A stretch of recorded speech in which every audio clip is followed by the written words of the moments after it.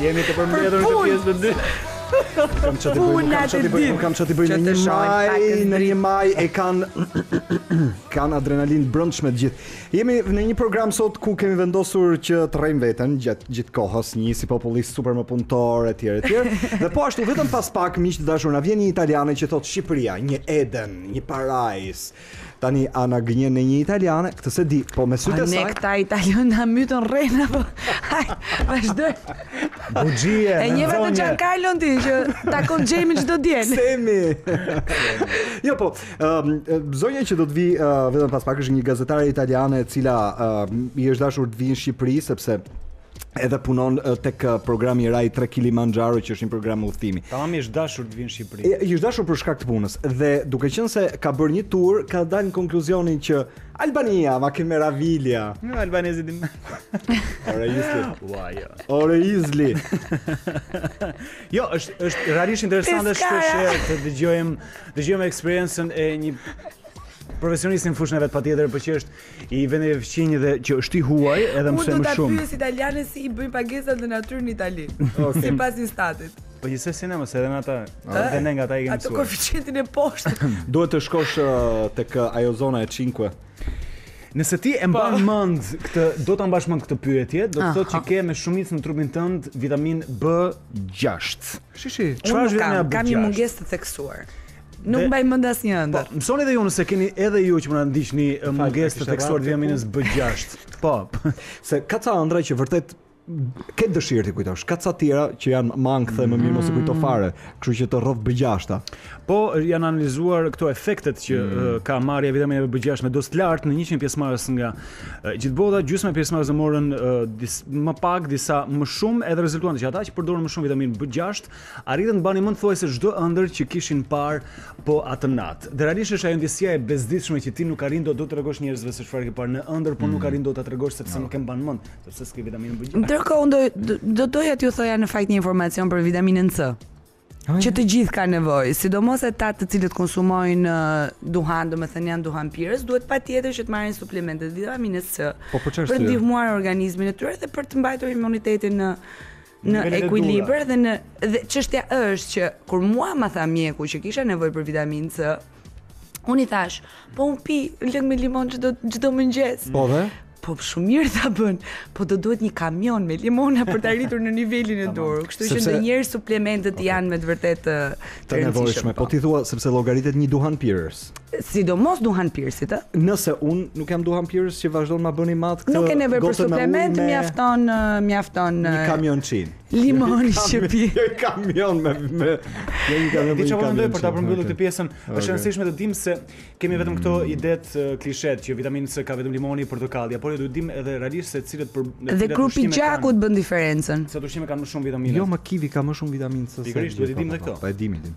Tani duke mbetur tek tek gjërat interesante, a ju ka mm. shkuar mm. në mend që një dallgë 24 metra e lartë certifikohet nga rekordi ah. Guinness për surfin dhe surfistët të cilët Dhe këto janë informacionet që gjithmonë mua më pëlqejnë së tepërmi. Dhe siç ju thashë pak më parë, tani një mikeshë italiane e cila ka ca kohë që po qarkullon nëpër Shqipëri është me ne në program. Quhet Gloria Aura Bartolini. Buongiorno Gloria. Benvenuta, mirëmëngjes, mirë se vjen.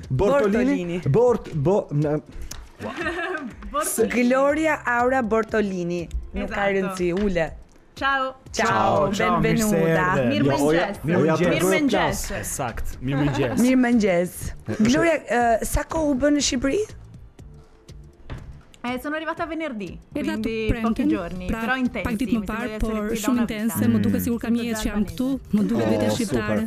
Tani, Gloria, um, ne do të flasim për gjithë prezencën tënde në Shqipëri edhe uh, xhirot që ke bërë nëpër vende të ndryshme. Gloria, po jua prezantoj, është kolegia jonë gazetare, punon në Rai 3 për programin Kilimangiaro, kush është i apasionuar pas udhëtimeve, aventurës edhe sidomos programeve që flasin për natyrën, Këtë program Kilimanxharon e ka shumë të dëgjuar.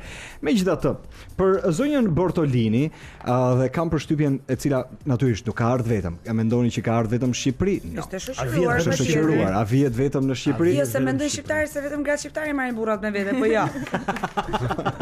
Edhe italianet me burra me vete. Okej. Tani dua t'ju tregojmë që si mund ta kuptojë jo vetëm jo vetëm Gloria, po si mund ta kuptojnë të gjitha që burri që e ka në krah mund ta marrë për grua shumë shpejt. A e dini që burrat që shtrëngokan fort dorën dhe po jua themi ju të dyve, që burrat që shtrëngojnë më fort dorën takohen Unë e bëj dorën gjak kur e shtrëngoj. Ja, fal tani po më detyron të çohem, ti nëm pak dorë. Po ç'punë ke ti të provosh burrin e tjetrës? Po bëj akoma se po bëj. Pra nuk ke punë këtë pikë. Unë këtë dipi dorë. Jo, mo motër e kam mendin e kam. Pra po thosha. A e dini që burrat që shtrëngojnë dorën më fort kur takohen kanë më shumë gjasa të martohen? Ej, shumë mm. interesante kjo, por ëm. Ehm, um... Ma jep njëherë dorën. Hmm. E pra. Sipas studiuesve të Universitetit të Kolumbisë, burrat që janë të prirur të shtrëngojnë më shumë dorën dhe qënka çështje karakteri kjo punë dhe force. Pra ka burra që me e dorën si darë, ti ndonjëherë pastaj fillon dhe thua po ky mor ç'pati. Apo i vjen instinktive për ta shtrënguar dorën. Janë diku tek pesë mijë të anketuar gjithë-gjithë. Na rezulto kërkësh tani që këta tipat me shumë gjasë janë njerëz që e marrin seriozisht jetën dhe kur kanë një marrëdhënie e çojnë tek altari, pra mm. shkojnë dhe martohen. Është një doktor që ka bërë këtë studim, quhet Vanguard Stinger, i cili ka dalë në rezultatet që tregojnë se gratë mund të favorizojnë partnerët e tyre që sinjalizojnë forcën dhe energjinë kur martohen. Tipit. Është me thënë kush e shtrëngon të do. Shiko, ne e kemi në fakt edhe në Shqipëri këtë traditën e të shtrënguarit të duarve. Madje duhet ta shtrëngosh. Në fakt mm. komentohet gjithmonë dhe gjithmonë është dëgjuar që Pjesa e shtrëngimit të duarve ka pasur një signifikat të vetën, oh, okay. duke sikur ishe më i besueshëm, në gjuhën e komunikimit. Yes. Gjuhën e gjuhën e komunikimit kshu përdoret, ë, tipi të që... ka plot nga ata të po. cilët, edhe ta shtrëngojnë dhe s'ta shtrëngojnë dorën. Por nëse ka një acarim është ata që nuk të japin dorën, të japin thjesht dy gishtat. Tre majat e gishtave kështu. Mm -hmm. Pra ti ke thjesht një takim kështu gisht më gisht. Dhe kur e bëjnë femrat hajt më, po kur e bëjnë burrat. hajt më. Ja. Çfarë do themi? A e dëgjuat kështu pra, uh, nuk e di si uh, Gloria ka qenë partneri yt në takimin e parë. Kur ti i ke dhënë dorën për herën e parë, ta ka shtrënguar dorën fort, i ke thënë, "Oh, come una morsa." Ah, una stretta molto forte. Shumë të fortë. Unë shtrëngoj dorën shumë fort. Kështu që unaza, gati.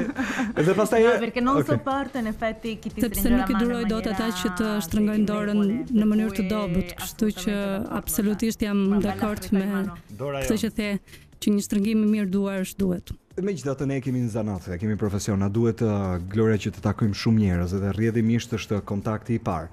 Dhe duke takuar dorë më dorë, sa ve, sa vetave ja japim dorën ditë ne. Oh. Pa fund plot njerëz, të cilët uh, për shkak të punës apo me marrëdhënieve të jashtme, na duhet të shkëmbejmë këtë dhe po, ne jemi dhe njerëz të edukuar. Patjetër, po ti e kupton në një sens që dikush që ke përpara bën diferencën për shembull. A, a të transmeton një lloj besimi kjo kjo çështja e shtrëngimit të dorës apo as e vëre është gjëja e fundit që mm. që vëre? Assolutamente sì, e poi mm. comunque è bello anche baciarsi. Por është bukur edhe kur puthemi që është pjesë e kulturës tonë, kurse në Japoni nuk mund të bëhet sepse kam qenë në Japoni e më erdhi në mënyrë instinktive të të jepja dy puthje në faqe, por pashë që personi ishte shumë në siklet. In Albania, e ke ndjerë po të njëjtën mm. po të njëjtën ngrohtësi le të themi në takim edhe në prezantimin e parë se edhe në Shqipëri ne e kemi si mm. traditë mm. që përveç se japim duart edhe puthemi Sì, sì, sì, infatti qui in Albania po, absolutisht, në shtëpi unë ndjehem në shtëpi, si në familje, shikoj një afërsi me kulturën italiane dhe kulturën shqiptare, kështu që është diçka shumë e bukur, kjo mikpritja që keni është shumë e bukur, e pastaj buzëqeshja e njerëzve të bën të ndjehesh mirë. Megjithatë Gloria ti uh, me origjinë pra prejardhjen e ke nga cili qytet në Itali? Di Treviso. Treviso si trova nella regione del Veneto. Rajoni i Venetos si ran Venecias. Po mirë, okej. Okay. Le ta themi, albanezi, italiani, una pancia, una razza apo s'e themi dot këtë. Një bark, një racë? Apo s'e themi dot? Jo. Si? Puntonero. Puntonero. O, oh, mirë. Mi gjitha të. Duke mbetur tek uh, gjithë eksperienca jote. Si t'u duk Shqipëria? Kolegët uh, na kanë treguar që ti gati-gati ke thënë, Shqipëria, një Eden. Si. Ne nuk e besojmë që është tamam një Eden, po hajde. Non come non puoi. Ma no, vi assicuro che vivete in un paese meraviglioso. Ju siguroj që keni një vend të mrekullueshëm, keni fatin që jetoni në një vend që ofron gjithçka nga malet, deti, gastronomia, zbulova vajin shqiptar që nuk e njihja dhe është shumë mirë. si ka mundësi që ti ke zbuluar vajin e ullirit shqiptar ku praktikisht po aq në Itali nëse kanë një krenari kombëtare kanë e kanë kanë vajin e ullirit. Però fa piacere anche scoprire Por të jep kënaqësi që të zbulosh edhe se në një vend tjetër është një vaj po aq i mirë. E duhet të them që këtu në Shqipëri edhe spagetit janë më mirë se në Mirë, se për gastronominë do të pyesim më shumë, po më thuaj Cila ishte përshtypja e parë që të bëri me të mbërritur menjëherë në në mm. Shqipëri? Allora, sono arrivata ovviamente a Tirana. Erdha në Tiranë, natyrisht. E ho scoperto questa città. Zbulova këtë qytet pulita, të pastër, të sistemuar. Veramente un'atmosfera. Me një atmosferë eh, conviviale. Vërtet ku mund të jetohet në harmoni, bare shumë, tarraca, persona ti shikon që kanë dëshirë të kalojnë kohën duke pirë një kafe, jo si në Itali që e marrim në këmbë kafen, dy sekonda edhe e mbarojmë, e pastaj nisemi, kështu që këtu marrin kohën e tyre, ulen, bashkëbisedojnë, kështu që është një atmosferë relaksuese, e më pëlqejnë shumë rrugët në Berat, më pëlqen kjo bashkëjetesa e religjioneve, kështu që të shikosh një katedrale pranë një xhamie në këtë periudhë historike që po jetojmë është një sinjal shumë i bukur. Pastaj më pëlqen bashkëjetesa mes historisë dhe modernitetit. Mirë, ne do të rikthehemi vetëm pas pak sepse kam përshtypjen që ditari yt i, i udhëtimeve është shumë interesant. Ti ke lëvizur jo vetëm në Shqipëri, anywhere. Anywhere, pra gjithandej, gjithandej ku i duhet ta çojë puna. Dhe nëse kam pas gjithmonë një gjë që kam pas qejf është kjo travel journalism. Gjithmonë kjo gazetari po, je në kohë, je në kohë. Po po, kohë jam, kohë jam, do marr valixhat. Nuk e di sa lekë mbledhur, domethënë po të duhet para. Po jo pra ta paguaj ai që që do i bëjmë punën. Dëgjoni tani Rita Orën, kjo po është gjithandej me lekë të xhepit. Kjo e po e Anywhere, kjo ishte Rita Ora që kudo shkon edhe e ka faturën e lartë në Shqipëri dhe në Kosovë gjithmonë thotë që vjen pa para dhe më vjen mirë Do ta kemi në koncert Ritën mm. Kështu që për aq sa ka premtuar edhe koncertin pas 6 vjetësh kthehet po në Tiranë, do shkojmë të shohim. Koncertin pa lek për ne, sa lek të veta i merr, le të kuptohemi. është hyrja bileta pa paguar. Pa, pa, pa, po edhe Rita nuk merr. Domethënë merr gjithë pjesa tjetër e grupit. E Rita thotë unë punoj për atë. Dirmonin. Ndërkohë Shmoni. Ku ka leshi, sa mi përqesh. Ndërkohë vim tani tek vim tek mikesha jon Gloria Aura Bortolini e cila ndodhet në program po, Bortolini. Po Bortolini, kështu që jam jam rregull. Nuk do ta ngatërroja më kurrë. Ëm uh, Gloria, duke mbetur tek udhëtimi, është një listë vendesh që ke vizituar. Ti nise të tregoje pak më parë që kalldrëmi i Beratit të, të kishte pëlqyer mm. uh, po aq disa zona, po për aq sa ke udhëtuar dhe për aq sa ke parë. Çfarë diference bën Shqipëria nga vendet e tjera uh, Qoftë edhe edhe edhe edhe përballë Italisë ose vendet e tjera të cilat ne i kemi vërdall. Natyrisht ju përballë Italisë keni Kroacinë, që është një vend që e vlerësoni shumë. Ju po ashtu përballë Italisë më poshtë vjen uh, Greqia dhe ishujt e Greqisë që po aq tërheqin shumë. Do të thoja mikpritja. Me të vërtetë këtu ndjeva një ngrohtësi prej njerëzve, që nuk është kaq e shpeshtë në vendet e tjera, kështu që kjo është një është diçka që ju dallon dhe shpresoj që ju mos ta humbisni kurrë. Sepse ndoshta tani nuk ka shumë turizëm ende në Shqipëri, por unë shpresoj që kur të vijë, sepse jam e sigurt që do të vijë, unë do të kthehem në Itali, do bëj promovimin e Shqipërisë dhe do të fillojnë të vijnë edhe shumë italianë, jam e sigurt për të. Por shpresoj vërtet që kjo karakteristikë t'ju mbetet. sepse është pikërisht ajo që bën diferencën me vendet e tjera. Mendoj që është e rëndësishme që ta mbash këtë karakteristikë pikërisht për të bërë dallimin me të tjerë. E poi l'altra caratteristica. Një karakteristikë tjetër natyrisht natyra, ky diversiteti që keni në dy në brenda 2 orësh nga deti ishim në kanionet e Osumit. Quindi montagne, malet, deti, historia, mm, queste colline verdi. Këto kodrat e gjelbra, nëse unë mbyll sytë edhe mendoj për Shqipërinë, më vijnë ndër mendje kodrat e gjelbra me ullinj, disa peizazhe vërtet shumë të bukura. Pastaj filloj edhe të mendoj këtu më kujton Toskanën, më kujton Umbrian, deti më kujton Sardenjën. Vendet më të bukura që kemi në Itali. Ka qenë në një linjë me Luanën. Pse? Po Luana kishte pasur një numëro të Shqipërisë dhe disa të gjata. Dhe kishin thënë njerëzit uh, shumë bukur reciton. Mhm. Dëgjo, duke mbetur tek uh, vendet që ke vizituar. Edhe pa diskutim që janë uh, disa syresh. A je duke xhiruar një program të veçantë për t'u transmetuar në në televizionin italian apo me gjitha kanalet e tua të komunikimit qoftë edhe blogingu sot, Instagrami, Facebooku bën të veten. Ti ke vendosur që ta dëshmosh kështu eksperiencën në Shqipëri. Pra në ç'formë e shpërndan? Allora, Allora, questo viaggio in Albania Ky udhëtim në Shqipëri nato perché lindi mm, sepse Unë drejtoj një program në Itali që quhet pikërisht Kilimangiaro, unë merrem me mm. klasifikimet e udhëtimeve dhe Shqipëria fitoi vendin e parë në një klasifikim mes vendeve që kishin regjistruar rritjen më të madhe të prenotimeve vitin e fundit. Kështu që Shqipëria pati 80% më shumë në vitin 2017. Kështu që Bëmë një klasifikim dhe një reportazh të shkurtër mbi këtë vend. Një mikesh dje më çoi një link të Condé Nast-it, ju e dini Condé Nast është revista më e rëndësishme në botë për sa i takon udhëtimeve, dhe më thoshte që hey Shqipërinë e kanë futur tek lista e vendeve fantastike për të pushuar shtator dhe duhet ta këshilloj edhe në këtë periudhë. Por në shtator sepse gjithsesi uji është i ngrohtë, kështu që ende është fundi i verës, çmimet janë pak më të ulët në krahasim me korrikun dhe gushtin. E kështu që kishim treguar, kishim uh, rekomanduar pikërisht këtë periudhë ehm, për ta vizituar. Kështu që bëra këtë reportazh që pati një sukses të jashtëzakonshëm, shumë italianë, shqiptarë që jetojnë në Itali, të gjithë ishin shumë të lumtur. Zamo, un Zamo, rafting. Un ragazzo Esatto del Zamo një Albania Rafting Group. Djali i Albanian Rafting Group më kontaktoi në Facebook dhe më tha, "Duhet të vish në Shqipëri që të shikosh me sytë e tu bukurinë e këtij vendi, sepse në fakt unë nuk kisha ardhur ndonjëherë." Kështu që pranova këtë ftesë për këtë për këto ditët e pushimit. sepse kisha katër ditë pushim.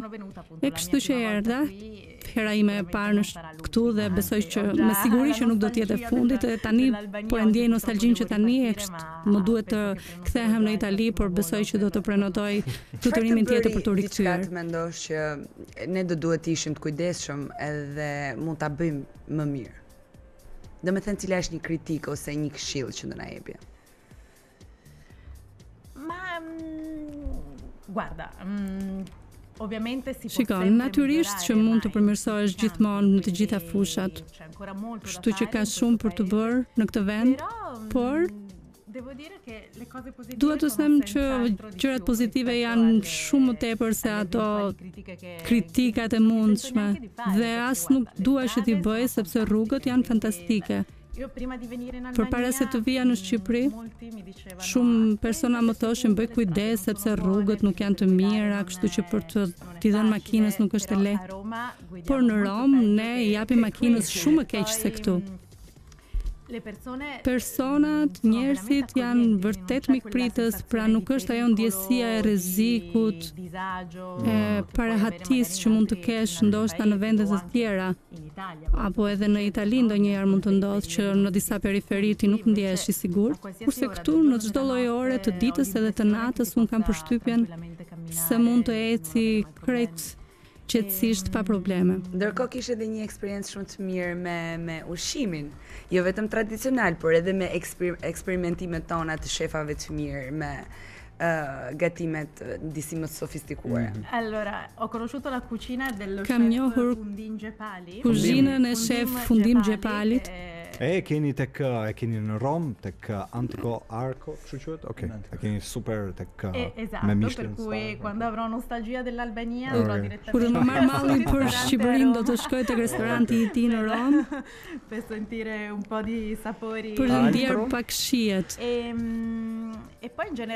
Pastaj në përgjithësi kam ngrënë gjithmonë shumë mirë. Ke ngrënë Berat ullinjtë e Beratit që janë karakteristik. Ho mangiato le olive di Berat. E kam ngrënë po ullinjtë e jo, Beratit. Degustato il Kam provuar edhe verën në një kantinë. Però una cantina buonissima. Nuk di nëse mund ta them emrin, por është një kantinë shumë e mirë në Berat. Dhe pronari i kësaj Quindi fa piacere vedere anche questo okay. legame culturale tra Italia e Albania. Personi Super. ka jetuar në Itali, kështu që është edhe bukur që të flasësh po, për këtë lidhjen. Po biftekun vienez në Berat, ose ne u shqyem për biftekun vienez. Lëre. Aty e la Vjena. Ndërkohë, ëm um, Ne do ta mbyllim me Shqipërinë edhe ishte kënaqësi që dëgjuam nga një italiane, sidomos nga një kolege që i shef gjërat kështu për uh, vendin tonë. Ne thamë ndonjëherë uh, sot është ditë pushimi në Shqipëri, siç është uh, në gjithë botën një ditë që do duhet të protestohet për punën, po ne që ta dish ti në Shqipëri bëjmë pushim. Edhe e kemi fest. Ndërkohë nga ana tjetër, tani për gjithë eksperiencën që ti ke, edhe për gjithë eksperiencën që të është dashur uh, për punën edhe për Kilimanjaron nëpër vende të ndryshme do të flasim vetëm pas pak. Cilat vende të kanë bërë përshtypje, cilat kultura janë më të habitshme dhe më të çuditshme, siç mhm. ishte ajo puna e Japonisë që ti doje të puthje dikë dhe ajo të tha mbrapsht, faleminderit shumë nuk puthemi. Dhe vërtet një rrëfim personal në minutat e mbetura të programit rreth punës tënde. Dgjoni tani Kiran, kjo është me Don't Say No More. Kjo ishte Kida sapo e dëgjuat në radio. Edhe duke mbetur me mikeshën, kolegen tonë që ka ardhur nga Italia, eksperiencat që gjithsecili prej nesh uh, në një mënyrë apo në një tjetër dhe ne s'paguhemi për këtë punë, pra ne nuk kemi gazetari që paguhet për të bërë udhëtime etj etj. Mm -hmm. Ne përpiqemi të bëjmë punë, por kur sa herë shëtisim, vdesim që t'i dokumentojmë në forma nga më të ndryshme ose t'i tregojmë mm -hmm. për tavolinë me gjithë ata që na ndjekin po. Ndërkohë, unë kam përshtypjen që për shkak të punës të është dashur të udhëtosh kaq shumë saqë ke një mal me eksperienca personale, ke kaq shumë për të treguar. Ama kush ka qenë vendi i cili të ka bërë më shumë përshtypje, je nisur me pritshmëri të larta, por të ka zhgënjyer? Ah, delusa, no, mm. beh, delusa mm, mai delusa da un viaggio. Jo, asnjëherë nuk kam mbetur e zhgënjyer nga një udhëtim sepse është gjithmonë një përvojë që të dhuron diçka, të dhuron emocione pozitive apo negative, por janë gjithsesi emocione, kështu që është shumë mirë gjithmonë. L'altra parte. Pra kush është një vend që ti vërtet je nisur me pritshmëri krejt normale, të ulta, po të ka mrekulluar. Ehm Albania? Shqipëria? no, beh, allora, mm, diciamo il Sud America. Le të themi Amerika e Jugut. Unë kam bërë një udhëtim për të shqiptar të keq. Në Amerikën e Jugut. Dhe aty kam njohur vende të mrekullueshme që nuk kisha pritshmëri shumë të mëdha, për shembull, Bolivia, e mrekullueshme, mhm. sikurse edhe Peruja, Brazili. Thonë është bërë Vlora se vjen edhe ne, se pak Tiranën e kemi si Vienën këtu. Pa. Cili do të ishte një vend që e ke planifikuar deri diku dhe është në dëshirën tënde për ta mhm. vizituar? Që të doje me patjetër të shkosh. dove non sono ancora mm. andata. Mm. Eh, Ku nuk kam shkuar ende. Il prossimo viaggio nel sud-est asiatico. Quindi udhëtimin tjetër do të më pëlqente ta bëja në Laos, Vietnam, në Kamboxhia, në në të gjithë atë pjesën aty. E me siguri dua të rikthehem në Japoni sepse kam qenë një herë. Por kam qenë vetëm për 10 ditë edhe nuk është mjaft për ta vizituar. Sei una collezionista, ku shkon një detaj që ndoshta i bën bashkë të gjithë vendet? Një suvenir, një byzylyk, një, nuk e di. Mm. Ehm, no, allora, per me le cose più belle da portare a casa sono le fotografie. Gjërat më të bukura që mund të marrësh me vete në shtëpi janë fotografitë, unë jam dhe fotografe, kështu që më pëlqen uh, të udhëtoj me, me aparatin tim fotografik edhe të çoj në shtëpi shkrepjet që më bëjnë të të kujtoj në mënyrë personale udhëtimin tim. Një magnet për te frigoriferi. no. E lo prendo per mia mamma. E marr për maman time sepse ajo e bën këtë lloj koleksioni. Oh, dhe zë më lërë. Është pak kështu për të gjithë, në fakt. Oh. Te frigoriferi i mamas të bën magnet. oh, si thonë, senti italiana. Unë vdes për Japonin. Si thonë italisht, vdes për Japonin? Amo il. E kemi mbrapa me, me zonjën përkthyese. Më ndihmoni pak. Nga që nuk e kam në të vdek me. Se kam në të vdek me që. nuk më bën nga ki thonë morire. Muoio, muoio. Për. Po. Jo, ta pyesim pak Gloria Aurën sa e kemi këtu dhe s'e kemi përfunduar. Cili ka qenë, se zakonisht ne shqiptarët shquhemi për komplimenta. Sidomos meshkujt, po edhe femrat kanë filluar e lishojnë, domethënë si lopa atë. Ë, uh, cili është komplimenti më i bukur që të kanë bërë gjatë kohës që të kanë parë një turiste italiane? Të kanë thënë për shembull sa sy të bukur ke, se sytë i paske me vërtet shumë të bukura. Grazie. Ehm... Faleminderit. Ma penso che il complimento più bello sia Mendoj që komplimenti më i bukur është një shikim sesa një fjalë. Kështu që ndonjëherë vedi degli sguardi shikon però disa okay. shikime që janë të respektojnë sepse në vendet e tjera për shembull nuk është nuk është gjithmonë i respektuar shumë komplimenti. Në fakt gjithë vajzat shqiptare një ndër përshtypjet e para që marrin nga Italia dhe kjo për të kthyer le të themi kokën. Është djemtë italianë, nuk nuk kursehen fare në në komplimente edhe gjatë kohës që janë duke ecur në rrugë mjaft të të shohin thonë ah che bella. Cammini per strada senti fischiare. Dëgjon fishkëllima rrugës ka një koncert pra rrugës kur ti ecën në Itali. Grazie di essere venuta. Gloria Aura. Uh, buon viaggio per a casa. Grazie, pra... vi aspetto in Italia. Sì. Uh, në programin Kilimanjaro, pra të vijmë tek programi Kilimanjaro. Pasi të kemi eksploruar Italinë. Patjetër. Të themi. Ne të vijmë me rrota djathi kaçkavall që të kënaqeni. ne kemi ardhur në fund të programit dhe duke ju uruar që të keni një ditë të bukur pushimi, edhe duke ju ftuar të na ndiqni sërish nesër. Sot është 1 maj, do duhet të ishte krejt ndryshe për reflektim mbi punën e mbi veten, po. Po s'ka gjë, ju kënaquni, shijoni ditën tuaj të pushimit. Ndani kohë me familjen dhe të dashurit tuaj, shijojeni dhe nesër do jeni prapë këtu. Gëzuar një majin o njerëz, jeni shumë të mirë, kalofshi mirë. Nesër në orën 7 gjithë të mirat, ciao.